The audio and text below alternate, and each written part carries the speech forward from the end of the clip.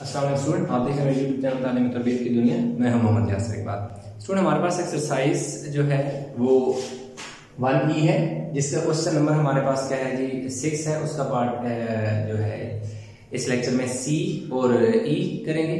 और सी के साथ डी क्यों नहीं कर रहा? सी के साथ ई e क्यों कर रहा? उसकी एक वजह है, वो मैं आप साथ एक्सप्लेन करूँगा। पार्ट ए और पार्ट बी आप ऑलरेडी अपलोड है, उसमें कोई मसले को आप देख सकते हैं।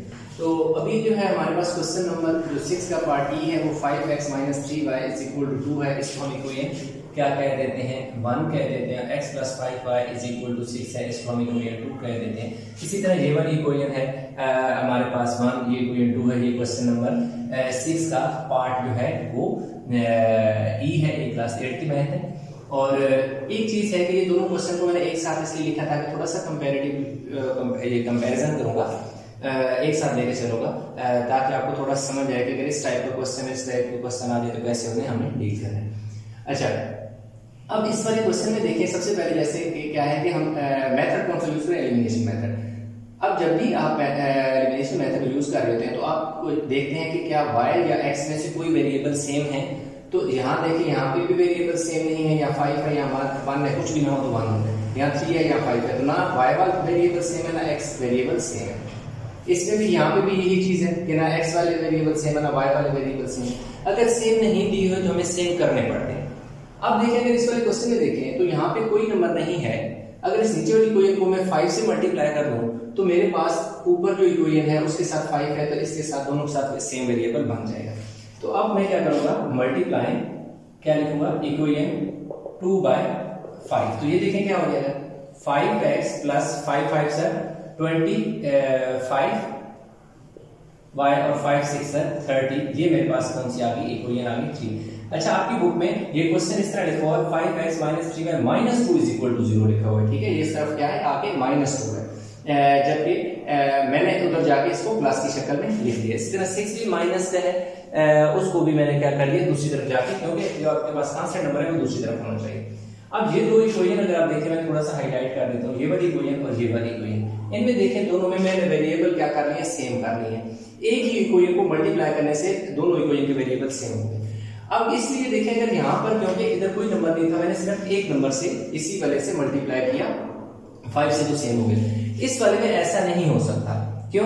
कि यहाँ पर यही समझी की खाली जगह थी, जहाँ पर फाइव ने अपनी जगह बना ली यहाँ पे खाली जगह नहीं, यहाँ थ्री है और यहाँ क्या है? सेवन है। तो अब हम क्या करते हैं कि ऐसी सिचुएशन में हमें क्या करना पड़ता है? कि ये जो नीचे वाला नंबर होता है, ये पूरी ऊपर वाली इक्वेशन से मल्टीप्लाई कर दो, और ये ऊपर जो नंबर होता है, वो नीचे वाली पूरी इक्वेशन से मल्टीप्लाई कर दो। यानी हम क्या करेंगे? मल्टीप्लाई क्या लिखेंगे? Equation one by three and two by seven यानी वन को थ्री से मल्टीप्लाई करूँगा। जब इसको मैं थ्री से मल्टीप्लाई करूँगा तो three seven twenty one x plus three three जर नाइन बाय थ्री एट जर ट्वेंटी फोर थ्री एट जर ट्वेंटी फोर हो गया। ये कोई थ्री आ गई ठीक है?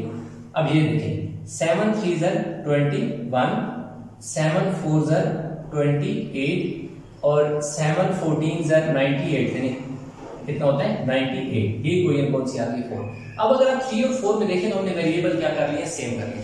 जब आप वेरिएबल सेम कर लेते हैं, फिर अगला मतलब आता है कि आपने देखना है कि इनके साथ जो साइन कौन सा है।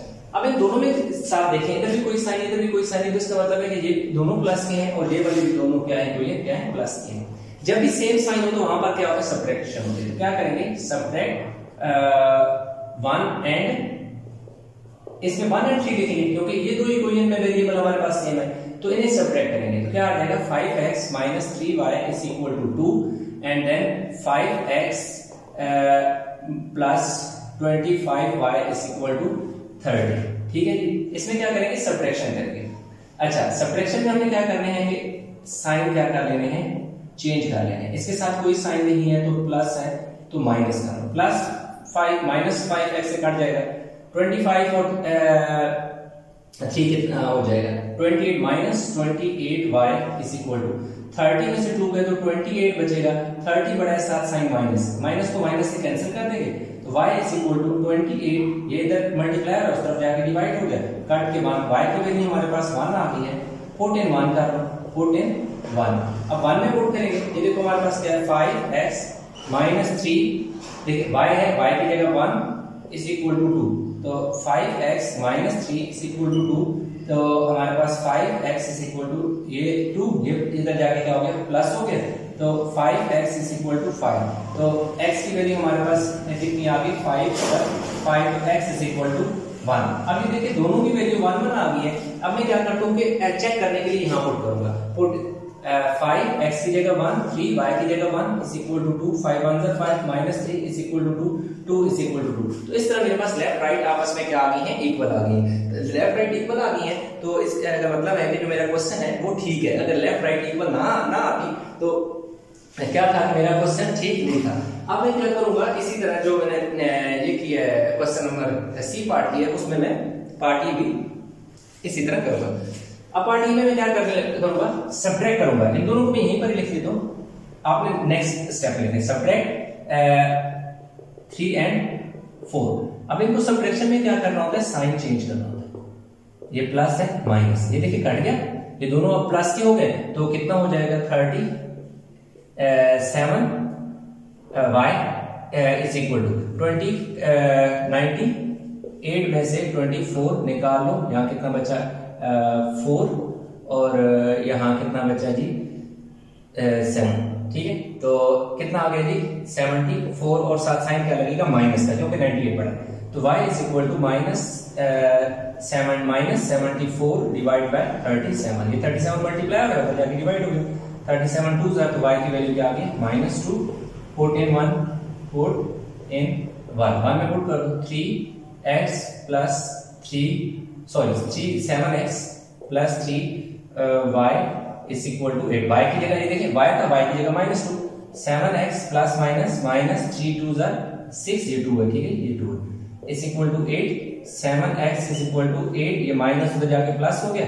Seven x is equal to fourteen तो अब x is equal to fourteen by seven seven two जर फोर्टीन तो x की वैल्यू मेरे पास क्या आ गई है? टू आ गई. अब मैंने क्या करना है? चेक पहली वाली इक्वेशन में मैं वैल्यू पुट कर दूँगा एक्स और वाई की. तो मेरे पास जो है आंसर आ जाएगा सेवन टू जर fourteen plus minus minus three two जर सिक्स एट फोर्टीन में सिक्स है eight is equal to eight तो ये देखिए मेरे पास, इसका मतलब है ये दो वैल्यू जो है वो ठीक है। तो इस तरह पार्ट सी और ई e जो है, वो मैंने कर ली है। आई होप ये क्वेश्चन आपको समझ आ गया होगा। इस क्वेश्चन में किसी किसी कंफ्यूजन है नीचे कमेंट में ज़रूर बताइए वीडियो को लाइक करें शेयर करें चैनल को सब्सक्राइब नहीं किया तो चैनल को ज़रूर सब्सक्राइब करें तो इंशाल्लाह मिलते हैं नए लेक्चर के साथ। तब तक अपना बहुत सारा ख्याल रखिएगा। अल्लाह हाफिज़।